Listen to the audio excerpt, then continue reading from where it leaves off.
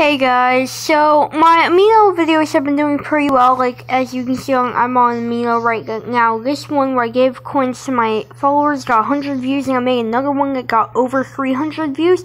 And as you can see, I posted this yesterday. So they're doing really good. And someone asked me how, so I decided, you know, want to do some more. And someone asked me, um, how do you give money to people on Amino? So, Today, I'm going to teach you how to do that. So, you go on the Amina, uh, uh, on on the Amino, and uh, I'm just clicking a random one. So, I'm, I'm to, and then, yeah, you go to a blog or post. Uh, not all posts you can do this, but with a lot of them you can. And I'm just going to a random one. Um, so, actually, yeah. Yeah, so she'll just get some props. And, yeah. Um, and then you click give props right here.